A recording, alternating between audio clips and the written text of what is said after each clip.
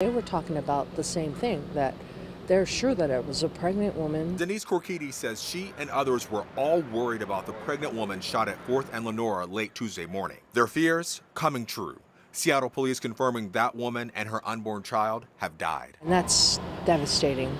That's got to be a nightmare. I felt terrible for the victims and their loved ones. 911 calls flooded in just after 11 this morning. Seattle police responding, assisting the two victims, that 34 year old pregnant woman and a 37 year old man.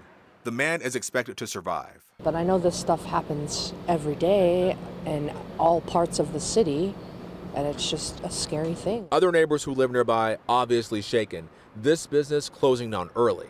The NDC believes there should be more patrolling and security in the area. During the day, yeah, which is crazy. I don't. That's what I'm saying. Just like throughout the whole night and day, like they should just be having people like around here making sure like the area is like okay. Viraj Desai says this shooting is a reminder violence can happen anywhere. Random things happen anywhere, so I'm not too stressed about it, but it makes you a little nervous.